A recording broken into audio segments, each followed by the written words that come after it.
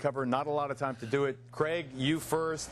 The the notion of uh, Cindy saying no smell until it went to the tow yard. Do the does does the record support that contention?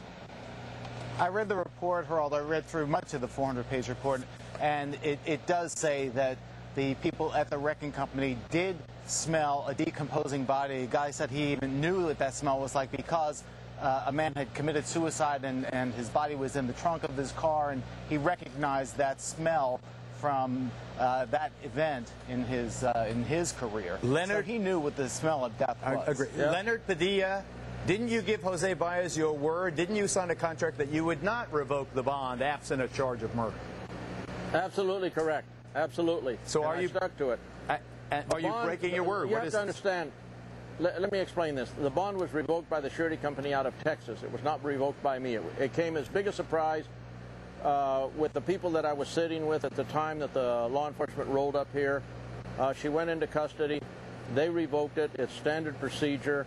There was a safety issue with the crowd out here. And there's Okay, I another hear you. Show, show the video, Monday. Mike. That's you- why they Okay, uh, Leonard, hold on. I'm going to let Jose respond to you. Show the video of Casey being rearrested on that uh, on that charge, if you have it, the uh, the fraud charges. Jose Baez. Here comes Casey. Uh, Padilla says he didn't revoke it. The surety company did. It was an automatic thing. He had no power. Your comment. Well, I'm certain uh, we can clear that up. Um, I can put in a call to the surety company, and we can come to the bottom of it. And hopefully, you know, legally speaking, she didn't commit any other crimes while being out on bond under that surety company, so they should have no right to revoke it. Okay, I- I hear- I hear because that. Mr. Padilla paid the money. I, I hear that. Okay, ladies. Geraldo, uh, maybe uh, you should mention Quick, Craig, go. Geraldo, maybe you should ask uh, Mr. Padilla whether or not he's had a change of heart over this case having to do with uh, Casey Anthony. Do you think Her do, do you think Casey Anthony is guilty, Leonard? Well, here's what I think. I think there was a change of uh, situation that uh, sensible people have to understand when the results came back from uh, Tennessee and what limited DNA has come in.